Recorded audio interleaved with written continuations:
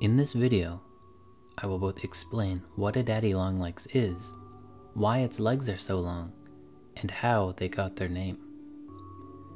First, let's start with how they got their name. The reality is, it's not really known. The first instances of the expression daddy longlegs came about in Britain in the 1800s.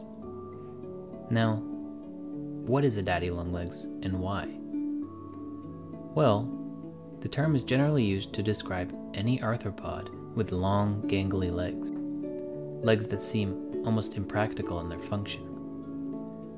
There's actually quite a few species from vastly different groups that exhibit this trait, and it's not used to refer to any one specific species or genera. Because of this, this video will briefly go over each one and explain what it uses its legs for, that is, why it has them. Also, remember, all the bugs shown in this video are harmless and often helpful to have in your home. So keep this in mind before you kill them out of fear. Cellar spiders have likely the longest legs in comparison to their body size of any spider group and in addition, they are extremely common in households.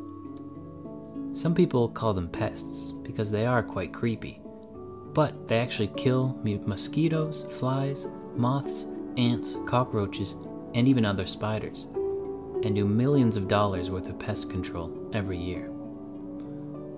These arachnids have such long legs because they do not actually catch other bugs in a sticky web. That is, the webs they do make are not sticky and help them by expanding their sense of vibration. They need this because they catch prey by ambushing them and grasping them into submission until they can wrap them up in silk. The web is more of a tripwire system than a sticky trap. The legs can help them because they are covered in sensory hairs, and so longer legs actually give them a wider depth of field, so to speak, with their sense of vibration. They are synergistically able to capture prey easier, stay at a safe distance from that prey, and sense them quicker in their webs, using their long legs. Harvestmen are not spiders. They are arachnids, however, they just belong to the order Opiliones, whereas spiders belong to the order Araneae. Unlike spiders, harvestmen's cephalothorax, that is, the body part which the limbs and head are attached to, is fused to their abdomen, making it look like they have just one big body segment, whereas in spiders, the abdomen is separate and articulate. Almost all harvestmen have extremely long legs, whereas some spiders, like jumping spiders, have relatively short legs. But why? Why such long legs? Well, unlike spiders, harvestmen don't spin webs. They don't hunt, they don't trap prey, or fight.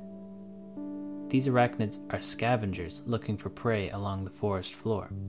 They are unlike cellar spiders because they do not hunt with their legs but they are similar to cellar spiders because they use their long legs as effective sensory tools to sense what's going on around them through vibrations.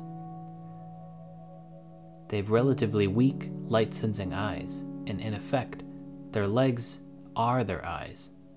And because their legs are so long, they can see that much better.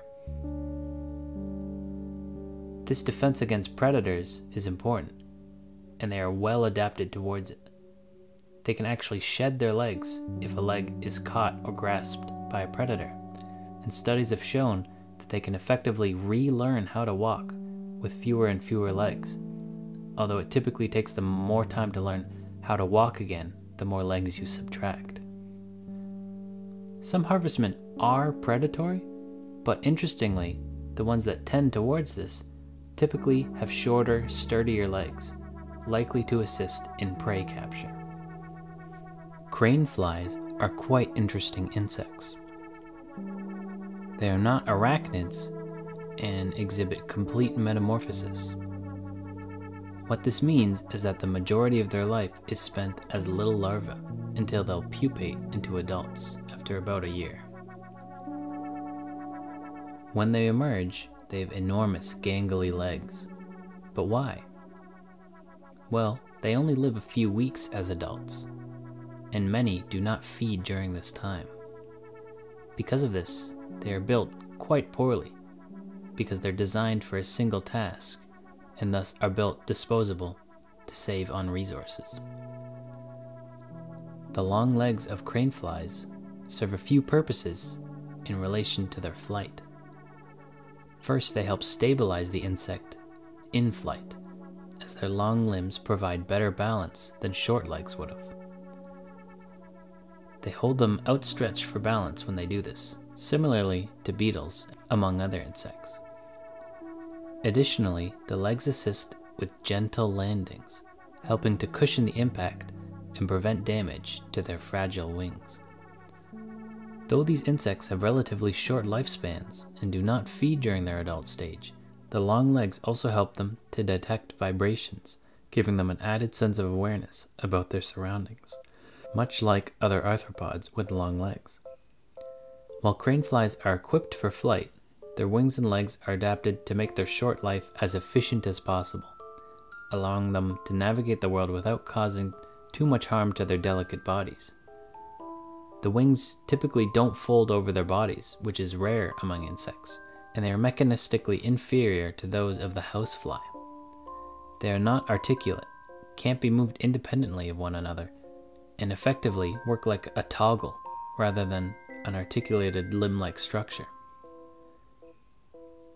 The legs help counteract this in crane flies by providing balance and cushion for landings, as well as better sensing danger. The development of long legs is an interesting adaptation among arthropods, precisely because of the myriad different circumstances in which it has arisen. The three bugs shown in this video all have vastly different lifestyles and strategies, and the biggest link between them is how they use their long legs to sense their environment through vibrations. It's a convergently evolved adaptation for three vastly different and unique lifestyles from stationary to nomadic to temporary use for flight. The daddy longlegs are far more varied and sophisticated than the general use of their name. Thanks for watching this episode of Privileged Bug Facts. Stay tuned for more bug content. Thanks.